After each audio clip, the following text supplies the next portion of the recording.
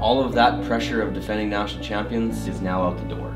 And now we get to showcase the team that we want to be. When we were down and you guys knew that it was over, and then all of a sudden, Ani swings out of her ass on a pipe and wipes and scores. Liz gets the stuff block. We get a couple digs. We keep, and all those things kept happening.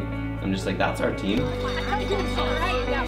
I'm gonna take us back to the poster that's hanging in our locker back at the college.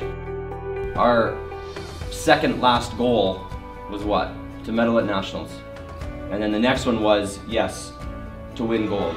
That's one goal this season that we aren't gonna be able to reach. But when you set long-term goals and you have a chance to reach all of the rest of them, that's a good season.